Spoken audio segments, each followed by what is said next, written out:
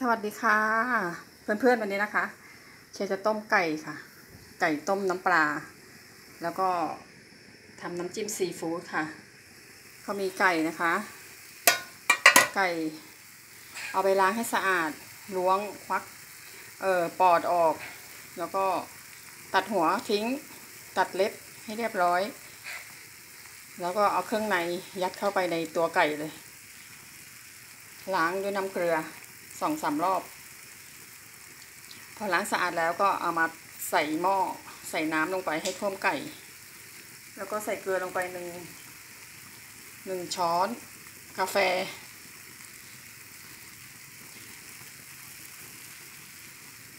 ต่อจากนั้น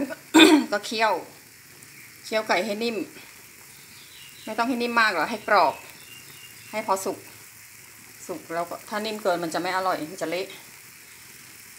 พอสุกแล้วเราก็ไปทำน้ำจิ้มซีฟู้ดน้ำจิ้มซีฟู้ดก็มีพริกชี้ฟ้า กระเทียม เกลือ น้ำตาล ผงชูรสมะนาว น้ำปลารากผักชี น้ำกระเทียมดองค่ะแค่นั้นแหละนี่ค่ะ เอาไปปั่นเรียบร้อย แล้วเดี๋ยวพอไก่สุกแล้วก็เราก็ไปสับ